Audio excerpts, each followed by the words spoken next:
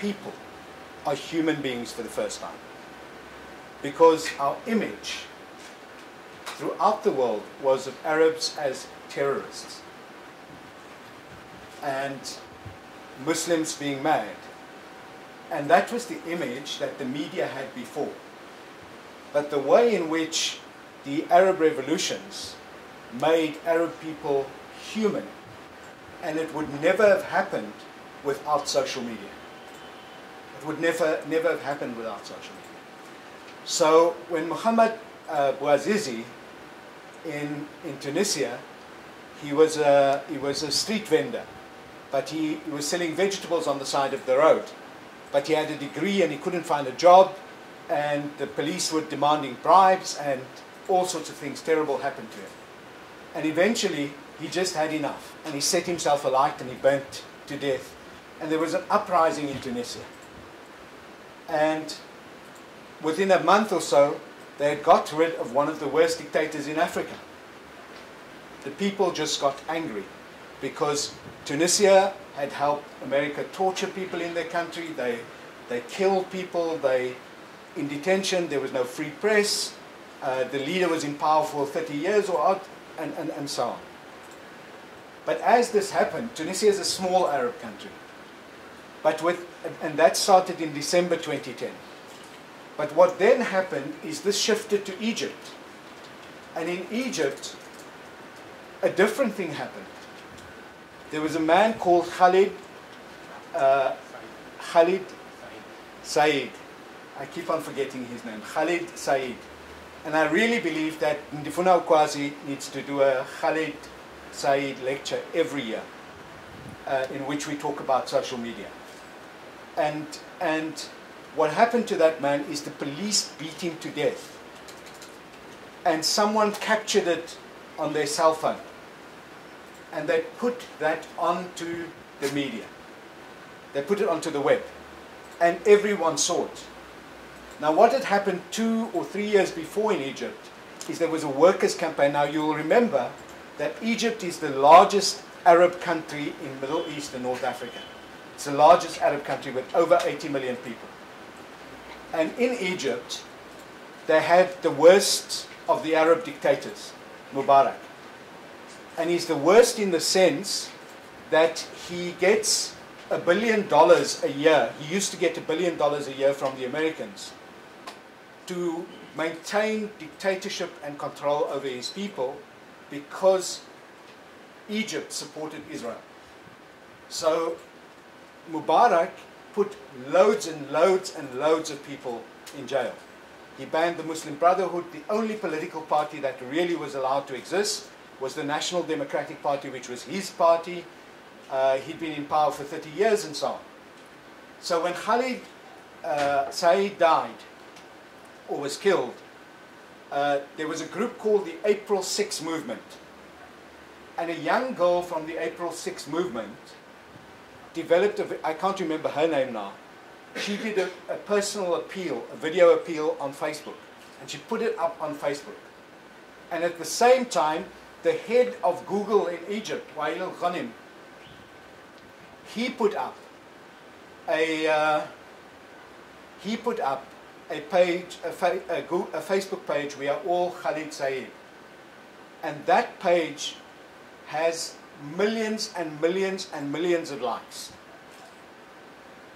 And it became the place for starting, when they said they're starting a, a, they're going to have a demonstration on the 25th of January in 2011, they expected a couple of hundred, maybe a thousand people to come to the demonstration because they get beaten very badly, they get put in jail, they get tortured and so on. And 10,000 people came. And the police reacted badly, and the next day 100,000 people came. And the way they distrib- distributed their messages, this was, young, this was young people organizing. And the way in which they distributed their messages was through their cell phone, through Facebook, through Twitter. Um, that, those were the main ones. Huh?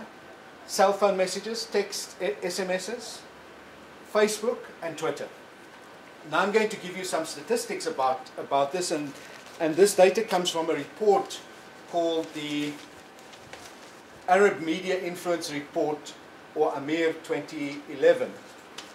And just to give you an idea, the Middle East and North Africa has 65 million internet users. 65 million, right? That's, um, that means uh, part of Southern Africa, almost everyone is on the internet in the Middle East and in North Af Africa. Not, not everyone there is on, on the internet, but it means if you imagine South Africa, everyone in South Africa is on the internet. That would be the idea. 80 million they expect by 2012. That's now.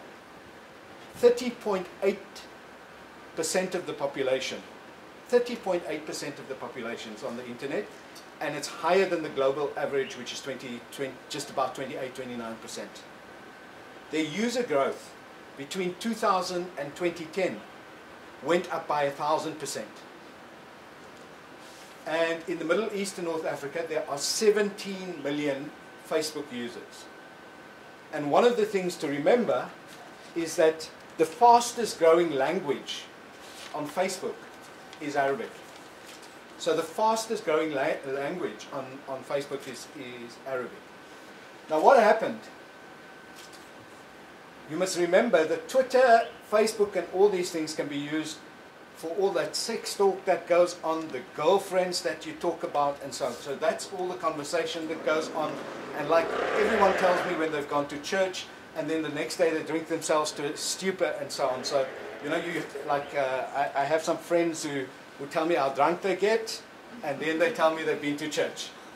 Uh, so, so, so, so that's, that's how people use the internet. But what essentially happened is that there's good and bad that you can do with the internet and, and social media generally. And Alex gave a very good thing of how people can use it badly. You can use it badly, but the very important thing to remember is you can use it for evolution and for change, but you can also use it. It can also be used to repress, to watch, and so on. So the internet, the CIA monitored all the tw tweets that were coming out of Egypt, as did this marketing company. Uh, they both did it. And the CIA wanted to see, of course, what, what was going on. But this Egyptian company, or this Middle East company that did it, looked at 10 million, there are 10 million Twitter and Facebook conversations every day in the Middle East and North Africa. And they monitored those 10 million for a month or three, a period of three months. And what they found is that in January when the Egyptian revolution began, there were 1.6 million people talking about Egypt across the Middle East and North Africa or sending messages or say, come, go to this or go to that or go to the next thing. And by February, that had doubled to 3.3 million people talking about. So in one month, the number of conversations on the internet about Egypt and its revolt doubled. Now, I'd explain to you what, what, what happened uh, in, in relation to Khalid Said, but let me let me make two other points before I, I, I, I, I speak about how they monitored and how this changed. In 2010, 57% of conversation among Arab people, 57% of conversation on the internet was about salary, income, jobs, minimum wage. They were all socio-economic, housing, corruption, and police brutality. So the political conversation on Twitter and so on in the Middle East in 2010 was all about social and economic grievances. In 2011, the political conversation became corruption, Mubarak, minister, National Democratic Party, parliament, freedom and revolution. That is what the conversation became changed into. So 80% of conversations in 2011 that mentioned Egypt, 80% of them started mentioning revolution, change, and getting rid of Mubarak. And that shows you how powerful the, the, the media can be. Now I'm going to ask a question. How many, of you, how many of you are on MXit here? Yeah. MXit is the single largest platform in Africa. Single largest platform in Africa, and it's a South African created thing, which we really need to also take se seriously. When, but, but we can come back to that. Two points about the Arab Revolution. Two points about it. Is it was led by young people, and in Egypt, when the elections came, now you, you have to know Egypt is a country with 80 million people, and about 30 million people voted. In the elections, only 1 million people voted for revolutionary change. 29 million people voted against the revolutionary parties. They voted for the Muslim Brotherhood and they voted for the very reactionary Islamists called the Salafists. And now the Twitter conversations are shifting to how do we stop the Brotherhood or how do we stop the Salafists and so on. But what that shows us is that it is not enough to, because the Twitter class, and I use that very, very advisedly, in Facebook class, was mainly young middle class people. They were not the kids in the slums. The kids in the slums got their message through the mosque. So, uh, as Alex pointed out, your, your, your campaign should never have only one area of focus. It shouldn't only be on Twitter. It shouldn't only be on Facebook. It shouldn't only be in the city. Um, it should be as far diff on different platforms, but most importantly, I'm going back now to old days and revolution, and, and then I'm going to go to current days. How many minutes do I have? Three? Five. Five. Okay, so the first, the first place I want to start is that not many of you would know the name Lenin or the name uh, Kautsky or even the name Marx, Karl Marx. But it was indispensable for the modern socialist movement to have newspapers. Indispensable the German Social Democratic Party, which is now the Socialist Party of Germany, uh, SDP, the Socialist Party in Germany, was the most powerful social democratic party. And in the, in the 90, between 1890 and 1914, they had over 200 daily newspapers. 200 daily newspapers, which went to trade union members, to women across Germany. So it meant that in those days, the real form that we used was media and, of course, mass meetings. Enormous amount of mass meetings and, and smaller meetings and so on. Lenin wrote a book called What is to be Done. And that book is are very often derided. But one of the most important messages he gives you in that book is the possibility, the way in which a newspaper is used as an organizer. How, when every one of us writes about our experience and what we see and how to do investigation and showing a policeman taking a bribe, showing someone being necklaced, and, and so on, we do our own investigations on those things. And we all contribute to social media or to a newspaper. Then we all form part of it and more people read it because there are many voices in it. So that's, that's, that's just the tradition of, of, of all of this. I see the Killers is much more interesting than this Smiths. Uh, and I, I prefer Bob Dylan though. and who is that one? I think it's great. all right. Um, one minute. One minute. I just want to give you an ex example of TAC in the, in the early days of TAC, and I want to come back to the question of giving money. In the early days of TAC, we made posters that we cut out of newspapers and we put it up, and Dina and other people here will be able to tell you that. But we were the first organization in the country in, in, in the late 90s to use email as a newsletter. To use an email newsletter to send out every week we send out an email newsletter.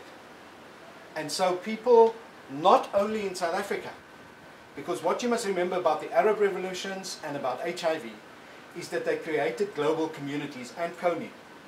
They create global communities. They don't only create local communities, they also create uh, global communities. So when you use your social media, you must understand that it goes beyond you. And through that, you're creating a community.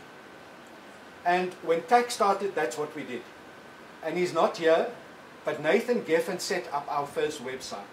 And he took over the internet newsletter. But you'll never forget that TAC was a lot more than an internet news, newsletter and a great website. We also had songs that we sang. We, we developed a CD.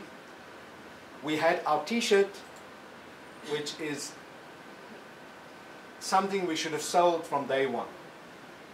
If we did that, 60 rand a t-shirt these days. You sell it, I hope. Okay, so I need to buy a new one. Um, so we made our t-shirt. That t-shirt, my favorite HIV positive t-shirt is not one that was made in South Africa. It was one made in a place called Nepal, which is a small kingdom in the Himalayas, near India and all those funny places. And it was hand embroidered HIV positive and a, a picture of the world on, on it behind. Now it shows you the power of photographs, the power of social media, the power of the media. And today, we face a very dangerous situation in South Africa. We face the Malemaization of our politics, where people think stupidly, they act stupidly, and it's not only Malema, it's also people who talk with us as refugees. And that means that there's a very dangerous discourse being created in our country which is, will divide people. And the danger is that a lot of that happens on the internet. In talkback, on Facebook, you'll see the most horrible things. One of the biggest South African sites on face, pages on Facebook is the OSAID Africa, as an example. So what we need to look at is ways of bringing conversation to people that is knowledge-based, that shows how we can change society in a way that is positive, that gives people more knowledge, so that people don't only act on the emotion of Joseph Kony, but they act on the basis of the knowledge, which what, as Alex showed us very clearly, Joseph Kony, the story was gone. There was no knowledge behind it. There was a fake story.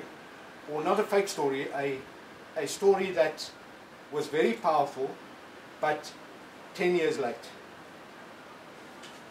Thank you.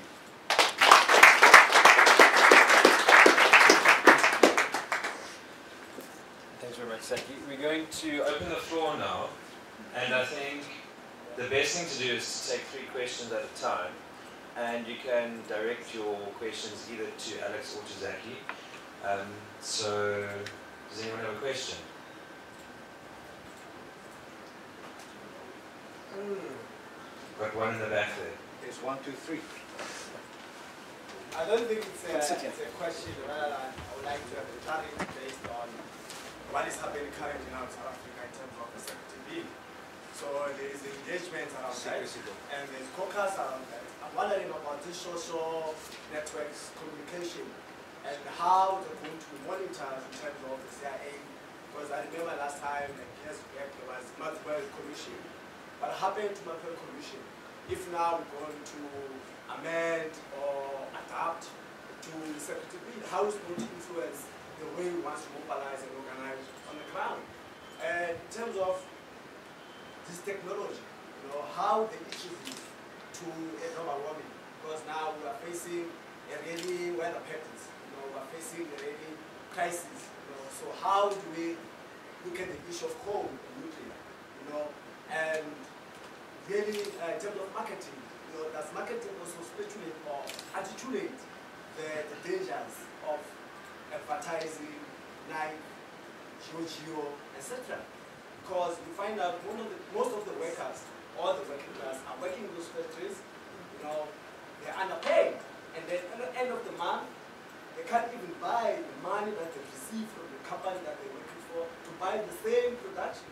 So I'm just want to open up a debate like that so that we can see how the social internet works and also the local life that we live and how it contributes to the global warming and also other issues of sustainability. Okay, thank you, Zach. So well, let's take a Yeah, few. exactly. So, is there any others? I saw some hands.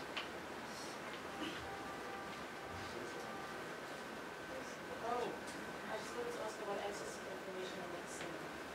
Like everything that's one on the, this would like. you I can can't hear, access so can you hear? The mic, no, you can. Just a bit louder. Oh, access to the information from the seminar, the access to like the email or newsletter or something of that nature. Okay. Yes.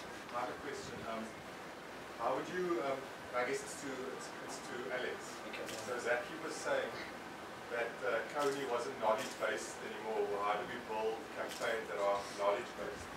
But very clearly what you said in your, in your uh, presentation, which has also been my experience as somebody who you know, works in the space, is that most people make decisions on an emotional basis and are not rational. So how would you, how would you reconcile those two things? And then, and then secondly, how would you use that for, for campaigns? How would you, how would you apply that to the kinds of issues that we deal with, you know, that people education might deal with or SJC might deal with? Well, Let's let's see if there are more. I think there were. Some more. I know I saw. Yeah, Lisa. Yeah, uh, my question is uh, Can we see you? to, to Alex. Uh, We can't see you. uh, uh, I'm wondering, uh, uh, how do you see us as organization uh, to use social media? Uh, how impact do you play as, uh, as organization on social media?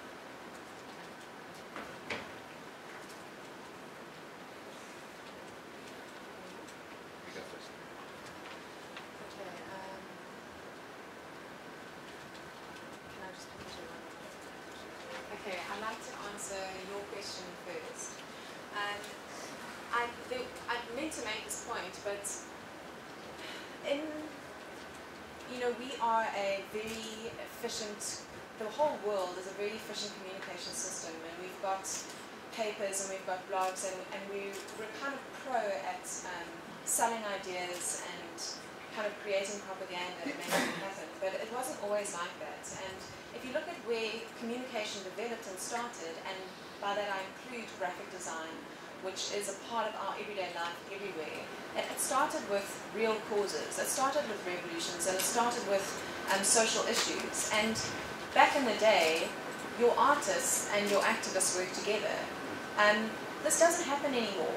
What's happened is that the artists have almost split from the activists, and we kind of we we inhabit two opposite ends of, of our, our spectrum, where arts is something quite niche and cool and and elitist, um, and activism is some and, and superficial. And activism is something on the other side, which is um, quite Boring. it's boring. it's inaccessible and it's it's yucky. I mean, like the average person doesn't want to think about these issues because it's like it's too much and it's not packaged properly.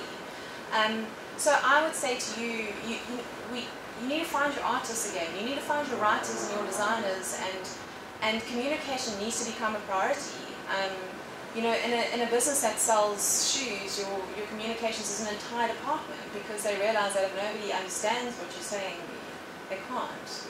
And they won't buy your product. So find your artists. That's what I wanted to say. And then there was one other similar yeah. Um, I think for an organization like this, you need to break down your messaging and package it. Um, and you need to decide who you're going to be targeting with that message for. Now, if you were to go to university and study marketing or study marketing anywhere, they would teach you these skills, but they wouldn't teach it to you in an activism sense. They wouldn't teach you how to package ideas that will that will change society and lives. They'll teach you how to package stuff. Um, I don't, Sell things. to sell stuff, yeah, to sell. I don't think there's a difference though. I mean, if you once you understand how to sell something, you know, you immediately add an advantage because understand how to communicate with people. And I think that's, um, I, you know, I didn't know much about um, Ndifuna Ukwazi or um, or any of your organisations until I met Greg. And um, it's not because it's, I I think it's incredible. I, like I think what you guys do is amazing, but it hasn't reached me. And um, you know, I, when I went and looked for it, it's it's beautifully written and it's beautifully packaged, but it's it, it hasn't yet been made accessible to a bigger market, and I think that's your challenge for any cause, um, is to find the relevance for a big market. So I'll, I'll, I'll, I'll start off by saying that wh- where Alex left off, um, that all our work and our messages can't reach thousands, they have to reach millions. And the way in which we do it is by cooperating. So there are a number of people here, all the ones on Facebook, put up your hand. Okay? All the ones on MXit, put up your hands. Right? Now, there's an important thing when I was an activist, and we still do it today, all of us. Well, I, I'm still an activist, but when I when I first was an activist, the most important way we communicated was with pamphlets, right? So just to get to Pupa quickly, I think that social media is an amazing way to stop trees being cut cut cut down. It's a really amazing way because many many more people can read stuff now without having to do it on paper. We do it very cheaply and, and, on, and in a form that, that, that is sustainable. So I think social media can be very, very important for a sustainable environment and, and communication uh, program. Now, on the secrecy bill and the information bill and stuff like that, what can never happen again and will never happen again, hopefully, if unless we, we and we can make sure that it never happens again, is that information can be kept secret by governments. That will never happen again. Because everyone has a cell phone, if you see some politician doing something wrong, you can get it sent off to someone else, and to someone else, and to someone else. You can get it on the internet. And in Egypt, they tried shutting the internet down for a couple of days. But why didn't it work? Because it then means the society can't work. And it really means the society can't work. The capitalists can't do their business because all business is done electronically. The banks can't work properly. This one can't work properly. That one can't work properly. And it's gone. So they can't shut down the internet. And, or they can, but only at enormous cost to society. In Syria, we heard from an activist the other day here. In Syria, we heard from an activist the other day here. Uh, an, an, an activist went into Syria, helped get people medicines, helped get people uh, stuff. And what, what we learned from him is they've shut in, in Homs and Hama and, and those places, they shut down the cell phone networks. But they can't stop people from getting satellite phones. And satellite phones you don't need MTN, Vodacom, and all those sorts of things for. The satellite exists outside your country. So, as far as secrecy and so on goes, the ANC security securocrats can try as much as they like, but they're not going to be able to silence us. They're going to make it harder and more difficult, but they're not going to be able to silence us. Just on the topic of secrecy, um, millions of people and huge big organizations with a lot of money have tried to shut down parts of the internet many, many times. Um, the entire entertainment industry is up in arms because they can't stop piracy. Um, and, and what happens is that, um, you know, as soon as they do try and do it, there are people out there, and many, many of them, who see it as a game to work around that. And you know, we, we have Anonymous. I don't know if you know about Anonymous. They're, they're a massive organization online and they, Don't know each other. they some of them know each other, but, but the point is that they don't operate with a face because um, they are the, the, the faceless mass. And, you know, whenever they do, they've started to do kind of harmful things, like they will hack websites, they will release information, but the point that they make over and over again is that information belongs to people and you cannot, you cannot ever shut them down. China um, is a censored internet country. Um, you know, that's, I don't know if we could ever get to that state though. It's such a, I mean, yeah, I, I, I think it's a long time before we ever get to a state where we are like China, but it's impossible to silence people on the internet.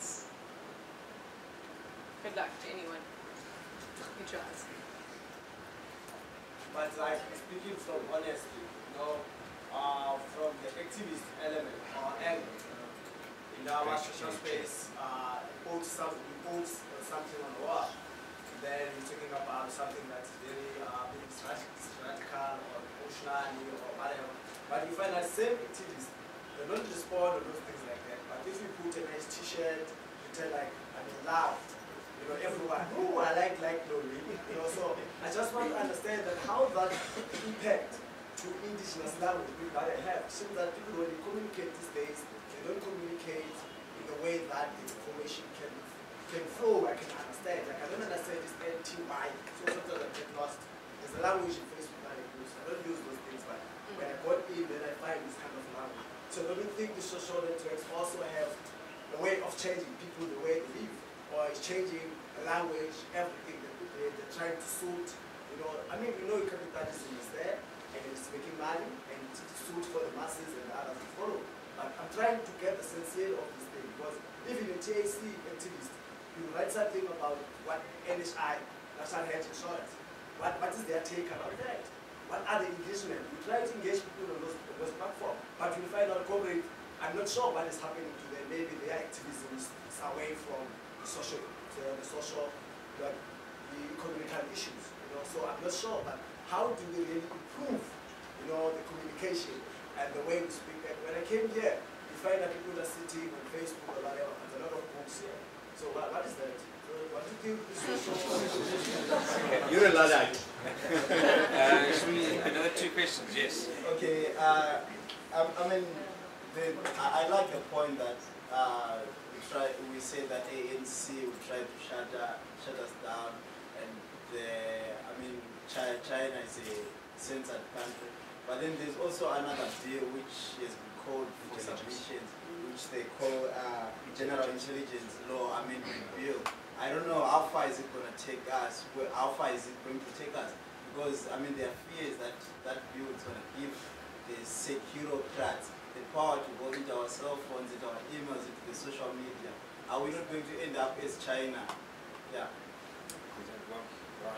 Um, so I get that, well, I believe that um, if you try and start a movement um, in social media uh, and it's not for the right reasons, you'll eventually be found out. Um, so something similar to what happened to the Kony. Um, my question is, what if you try and start a movement with all the best intentions um, and that community of people that are there just to latch on to your every success, to try and create success for themselves, and try and change your, your, your message purely for themselves. How do you manage those people to make sure that your message is still getting across? Should we take, do you, yeah. take one more round of questions? I'm going to take your question. Yes. So, Gavin, take another one. Uh, thanks, Greg. Um, I think, you know, um, thanks Alex for that presentation. Um, when, when, when we're trying to get to the biggest possible market, I think there's a, there's, you, you get to the risk of sensationalizing an issue. We saw that with Kony, we've seen it with other issues. And, I mean, the last I heard of Kony was the founder running around naked in Yeah. San Diego being, being arrested. Um, and we haven't heard much about it since then. So I'm just interested to hear from you if you have any examples of um, social movements or organizations that have run successful campaigns that are sustainable. I mean, one that comes to mind personally is the Avaaz, Yes. online petitioning site, which have done really, really amazing work um, for two, three years now. I mean, every time there's a petition, I think they have five, six million people to sign on. And that's Well, all they do, Yeah. you know. Yeah. Um, so I'm just interested to hear if there are any examples of organizations that have managed to build support continuously but kind of sustain that support over time. Um, I, I'll answer yours quickly. And go and have a look at GivenGain. They list almost every single, um, NGO cause online, and there are examples of more sustainable ones. Um, I think the Educated Girl Child went viral online as well, um, and that was a but that wasn't really a, a, an ongoing campaign. It was more a thought that they wanted to get going. Um, but yeah, you do risk, raise the risk of sensationalizing. Um, you know, you get people who are good communicators in this world, and you get sensationalists. And just as there are journalists of integrity, and you've got to kind of err on the side of communicating with integrity as well. Um, yeah, I mean, someone should have said, "Listen, Jason, just calm down. Can we actually have a reasonable discussion about this?" But nobody ever did say that because he was in completely control of it. And shame, he he went he became an overnight sensation, so he went mad. I always say there should be a course at school, which is what happens if you go viral on the internet, because it could happen to anyone. And there's no school, you know, how do you deal with this? I, shame, I feel sorry for. Your, your question about um, how do you maintain a, a, a, vision without other people leeching off your success, um, can you be a little more specific about what you mean by that? Do you mean other people using your cause to better their own image? Yeah. I think that's, you know, you. So, so for example, Yeah. people latching onto you trending on Twitter, but Yes. creating, using your hashtag to create Yes. their own business for themselves Okay. and that kind of thing. Um, nobody's fooled by people like that. Uh, you know, I think there's what gets said online, and then there's what doesn't get said, but people watch. And I think that you, you can't worry about that. I mean, if you if your idea and your, your organization has success and integrity, um, people will avoid the spam links. Or, um, but you know, if other people are going to help spread your thing as well, let them do it. Um, there's sta- statistics something like 40% of people who are on Twitter don't actually interact; they just watch. Um, and you know, as someone who has a bit of a profile as well, sometimes you, you know, you people try and drag you into their stuff. They they have these these causes, and sometimes they're crazy, and then they, they kind of like at you in, and they hashtag you in, and they, they connect you, and they say that you said this and you said that, and what you could do is, is stand up and be like, actually tweet, you know, I didn't, I have nothing to do with this person, and further their um, their little ego trip, or you can literally just say nothing and let other people watch what's happening and decide for themselves because they're the ones making the fool of themselves. You know, you you don't have to defend yourself at every point. You can see how what a bad thing Twitter is, not that what a bad, our people make fools of themselves by the way in which our Premier uses Twitter. Um, you never, the example is never get involved in an argument on these things. On Facebook it's fine because you can write more, you can write back and, you, and, and, and so on. But you Yeah. cannot really explain yourself on Twitter. Twitter is just a way to share good pictures, um, good articles, and, and, and, and a one-liner. But never engage Yeah. because otherwise you drive yourself crazy and you drive the world crazy. So, so that's that's that's one thing I, I would I would I would say. But it it is a difficult thing where people latch onto movements and so on. But you, you can't do. There's very little. The part the price we pay for for freedom is that we have the good and the bad of freedom, and that's the price we we pay for freedom. And that brings me back to things like the intelligence bill and, and, and, and so on. You know, there's such a bad group of uh, bunch of legislation. I think one of the things that we should do is have a political seminar to discuss what is the meaning of having the traditional courts bill, the secrecy bill, the general laws amendment bill, because all these laws taken together form a plan. And I'm sure that there are more in the pipeline. And the internet can help us tweet about them. But if you believe that the ANC or the government is not listening into your conversations now, is not having access to your to your to our emails and, and all those things now, then you're living in a different world to the one I do. But what I can say to you is that they're trying to make that legal, and we have to stop them from making it legal, because it's our duty to do that. Um, so, you know, I'm, I'm, I'm, I'm an enlightenment person. I believe technology can be good, and if it's used well. So, for me, I hate the fact that people can't speak English properly on, on Facebook. I'm talking about English native speakers. I'm not talking about people whose home language is not English. So when people have LOL, right? Uh, I sent a message once to someone's mum, to someone saying, uh, sorry to hear your mom died, LOL. Like, you don't, uh, and, and then, you know, like, laugh out loud. And after that, I never ever used one of those short things again. Um, so to come back.